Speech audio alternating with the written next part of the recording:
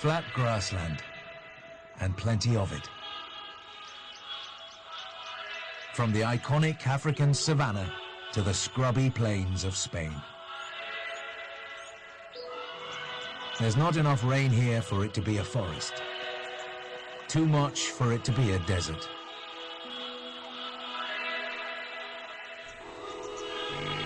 For tens of thousands of years, animals have adapted to life here. These vast grasslands give them plenty of room to roam.